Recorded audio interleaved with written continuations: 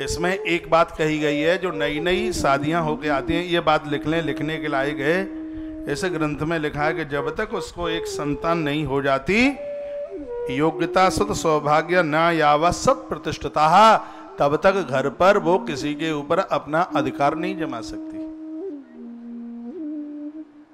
जब तक उसको एक संतान नहीं हो गई है, तब तक तो ऐसे रहे, जैसे भींगी बिलैया बैठी रहे घर में। हाँ एक संतान।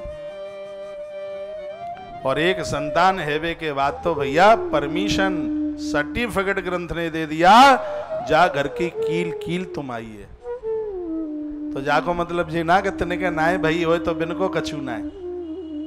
ऐसा नहीं, आजकल ऐसा है ना, जाते ही मुड़गाई लगाओ, दीवार लगाओ, जे हमाओ जे त्याओ जाते ही पहुँचे नहीं, और जाके हिस्सा बांट करो। हाँ सब अलग अलग बंटवारा करो। जाते ही वही तो सालू ना है भाई बंटवारो पहले दो उसका विरोध किया ग्रंथ में। कहा अभी तो त्या एक लड़का बच्चा ना, भयो तुम बंटवारे के कार्य कहवे लगी हैं, ऐसा काय को कह रही। इसमें लिखा है कि, योग्यता सुत सौभाग्य नहीं।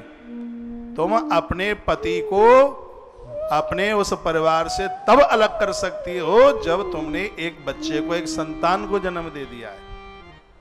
उससे पहले तो नारी को अधिकार नहीं दिया अलग अलग होने के लिए। अब बात मलूक लग रही हो करई लग रही हो हमें ना है पतो, लेकिन जहाँ में जी बात लिखी है, जो ना कि जाते ही जाके मुड़गाई बांट दो।